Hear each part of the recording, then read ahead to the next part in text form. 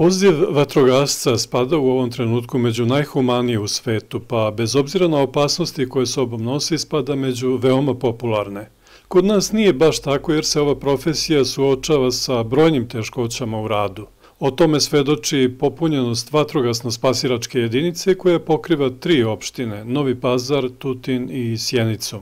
Otprilike na hiljadu stanovnika nekog područja dođe po jedan vatrogasac.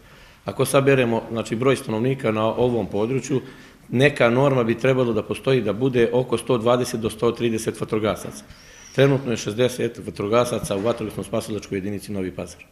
Pripadnici vatrogasno-spasilačkih jedinica, kada budu primljeni u stalnu službu, prolaze veoma složenu obuku. Vatrogasci i spasioci se obučavaju svakodnevno, kroz vežbe, taktičke zadatke, e, teorijsku obuku, psihofizičku obuku. Ono što moram naglasim, novo primljeni vatrogasci se takođe obučavaju šest meseci u vatrogasno spasilačku jedinicu u kojoj su primljeni, stiču osnovna znanja o tome, zatim idu na specijalistički, odnosno osnovni kurs za vatrogasce koji se izvodi u vatrogasno spasilačkoj brigadi Beograd i vatrogasno spasilačkoj brigadi Pančevo, gde se stručni usavršavaju, gde završavaju takozvani stručni ispit, državni ispit polažu i tek posle toga se vraćaju u matičnu jedinicu kao vatrogasci spasioci.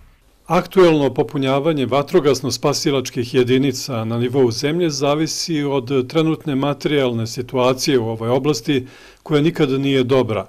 O prijemu novih vatrogasaca odlučuje nadležno ministarstvo. Vjerovatno će popunjavati one jedinice koje su manje popunjene sistematizacijom. E, ja se iskreno nadam da će biti i određenog broja kod nas, iskreno se nadam, kažem, a opet to zavisi od ministarstva unutrašnjih poslova.